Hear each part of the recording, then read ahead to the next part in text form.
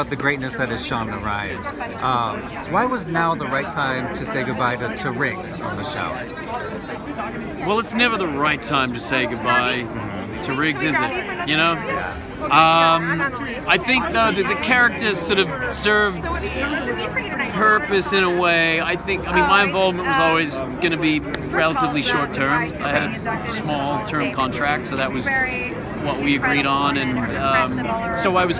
But I was unclear as to exactly how they were going to use Riggs. It was obvious that I was going to perform some function in terms of Meredith's, you know, getting back into a romantic relationship and navigating that. Um, but I never knew exactly how it was going to be played out. Um, and I was quite surprised. I mean, I, I knew Megan was going to come back. I knew there was going to be a triangle and it was probably going to end horribly. But I actually didn't know it was going to end so sweetly for Riggs. Um, so it was kind of nice and a shock in, in, in Grey's to have such a nice send off. You know, Right. It's rare for the show that, that kills off everybody. I know, I know. And I'm, I, so I take that as a as a compliment. Um, and you know, and the the door is obviously open for you know something down the line if that serves the show. Um, Would you like to see that happen? But we've also talked about doing other stuff together, you know, and this is I think our third or fourth time working together. So, you know, for me, it's it's just been nice to come back into a family that I've always been treated so kindly with, and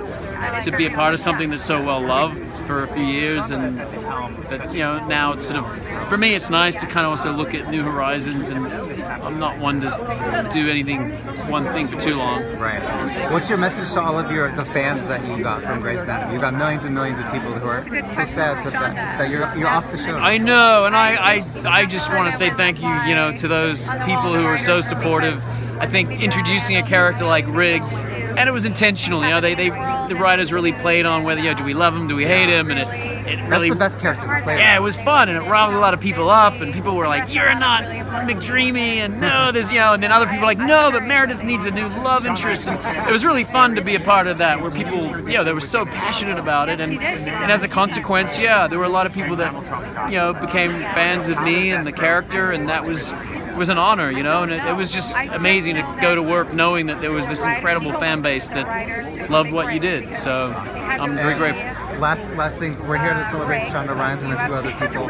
Just really quick, what is it about Shonda that just makes her worthy of this honor on Television Hall of Fame? I mean, look, Shonda's.